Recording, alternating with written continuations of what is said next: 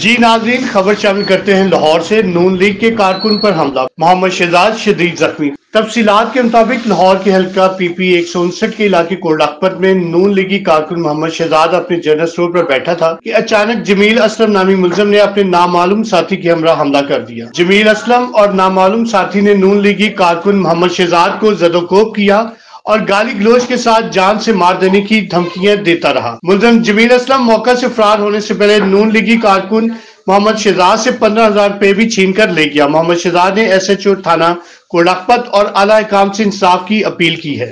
जी क्या हुआ है जी ये? ये हुआ कि यहाँ बैठा था दो लड़के हैं। एक ये गली का था एक पता नहीं कौन था उसके हाथ में पिस्टल था।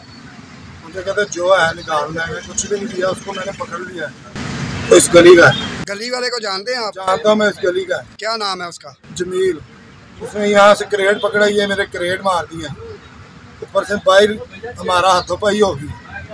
तो ऊपर से गाली कलोची निकाली है उसने मुझे बहुत ज़्यादा। तो दूसरा लड़का भाग गया। और पिस्टल किसके हाथ में था? क्या था क्या नहीं तो मुझे कहते पैसे दे। मैं कहा मेरे पास कुछ नहीं है। तो आपने वन फाइव पे कॉल की है?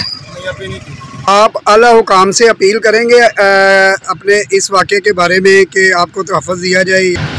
जनाब मैं थाना कोल्ड अकबर एस एच ओ साहब से गुजारिश करता हूँ और आला काम से गुजारिश करता हूँ कि मुझे तहफ़ दिया जाए और मुझे इंसाफ दिलाया जाए मुझे को अपने सर अंजाम तक पहुँचाया जाए। मैं नूनली का वर्कर हूँ और मुझे उसने मुझे जान से मारने की धमकी भी दी है और मैं गुजारिश करता हूँ एस एच ओ साहब से कि मुझे इंसाफ दे